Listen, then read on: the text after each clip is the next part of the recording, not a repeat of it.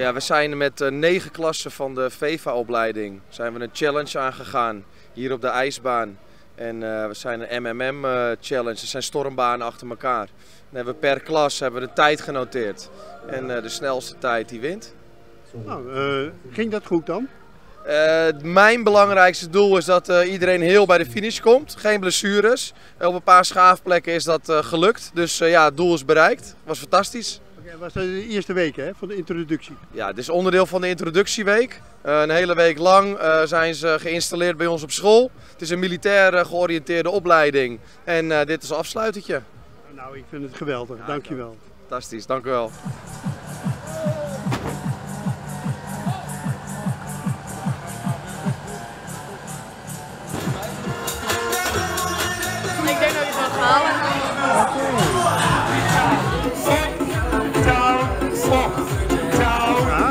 Vijf jaar. Vijf jaar, gewoon een jubileum. Wie had dat gedacht? Wij niet eigenlijk. Wij hadden het niet gedacht. Wij dachten, nou, we gaan op Wilmsoort, want zo begon het, op Wilmsoort. Een keer eh, iets heel geks doen. We gaan gewoon de langste stormbaan ter wereld neerzetten. En toen eh, lukte dat dus ook, want we kwamen, hè, we hadden gewoon de recordpoging hadden we gered. En toen dachten we, nou ja, mensen vinden dit één jaar leuk. Eh, en vooral kinderen dachten wij. En toen bleek dat volwassenen dat eigenlijk ook heel erg leuk vonden. Dus we waren heel verbaasd. En toen bleek dat we, dat we eigenlijk het tweede jaar alleen maar hoorden... ja, maar het is toch nog wel een keer? Nou ja, en zo ben je aan de vijf keer. Zo gaat dat.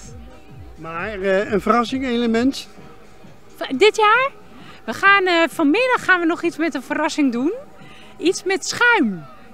We dachten, nou ja, we moeten weer eens wat anders bedenken. Dus we, we doen iets met schuim. Dit jaar. We hebben blauwe alg, dus we mogen niet de, de, de badjes vullen. Dus wij dachten, we gaan een creatieve oplossing daarvoor verzinnen. Dus we gaan eh, met schuim aan de slag. Nou, laten we eens even kijken zo. Ja, leuk hè? Leuk.